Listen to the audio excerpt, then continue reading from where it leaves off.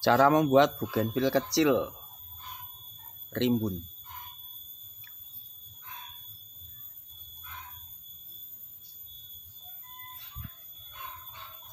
Untuk caranya, ini kan bibit bougainville ya. Ini besarnya serokok, besarnya serokok, besar batang.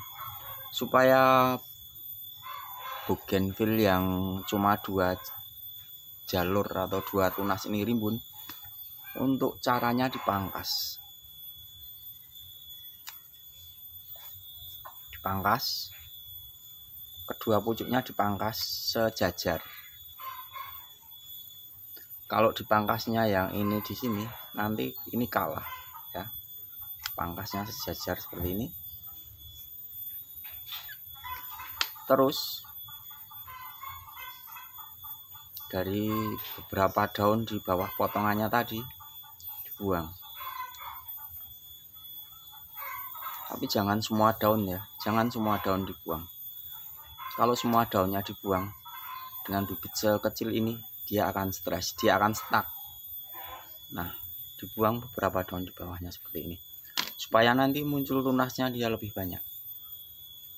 Beda dengan dipotong saja dipotong saja terus ditinggal. Ini nanti tunasnya enggak enggak banyak ya tentunya akan lebih banyak kalau dibuang beberapa daun di bawah potongannya. Seperti ini. Untuk caranya sederhana ya. Setelah dipangkas pucuk dan dibuang beberapa daun lalu dikasih pupuk.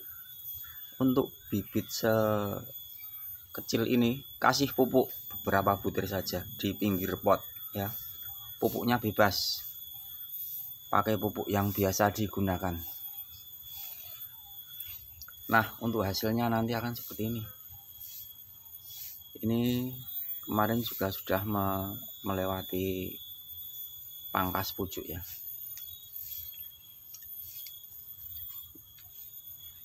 Dengan ranting atau tunas yang seperti ini ini nanti muncul tunas terus dipangkas lagi tentunya akan lebih rimbun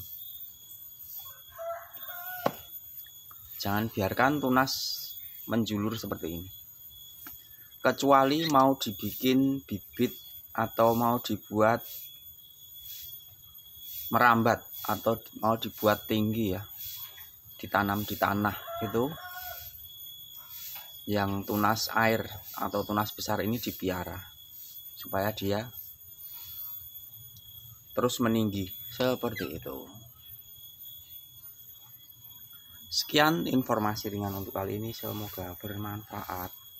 Ini ID-nya Citra Monduring.